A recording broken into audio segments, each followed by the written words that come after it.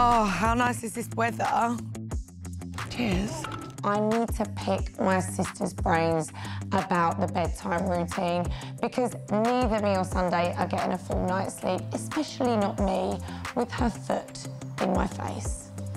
Sunday's back in my bed every night. Every night. Yeah, yeah. It is a phase. The longer it goes on, the worse it's going to get. I can't let it go anymore. Like, I let things slide.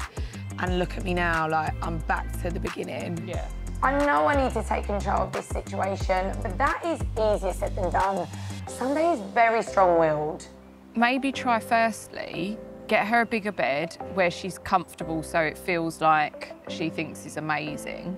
Uh, make it exciting. She chooses the bed, she chooses Yeah. the bed in. Then take advantage of the change when the new bed comes.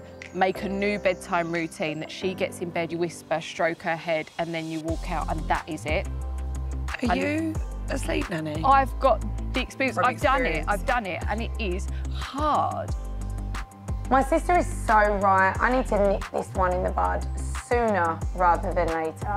I honestly don't know what I'd do without her, and I definitely don't know what I'd do without Jill.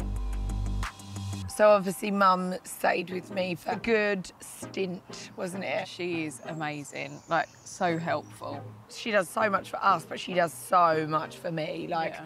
I wouldn't be able to function without her. I feel like I'm always asking from my mum, and I don't want it to be always take, take, take, look after Sunday, do this, wash another load of washing. I just wanted to surprise her with something and do like a nice day for her. Yeah, Like, lovely. it'd be nice if we treat her. Yeah, it'd be nice to do it together. Maybe like like a nice glass of something somewhere. Like I'm I'm picturing like a vineyard. There's some really nice ones around here as well. Is there? Yeah. What?